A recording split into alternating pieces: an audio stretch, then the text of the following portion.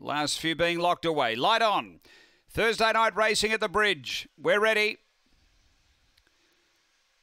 They're racing.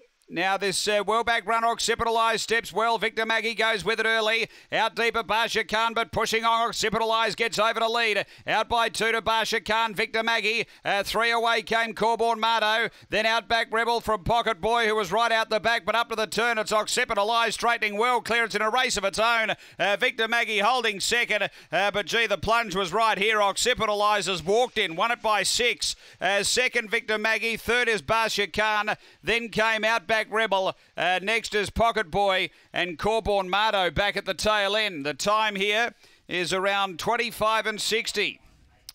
Well, very, very comfortable win. Uh, was able to jump out, a bit of early pressure, but then got to the front and uh, just extended the margin. Number five has been too good. Occipital Eyes. He was very strongly supported and gets the cash. Uh, second, going to one, which is Victor Maggie for Tony Rasmussen. And uh, third, going the way of eight, which is Basia Khan for Lauren Harris. Numbers are five, one, eight. Uh, two is fourth after race one here at Murray Bridge.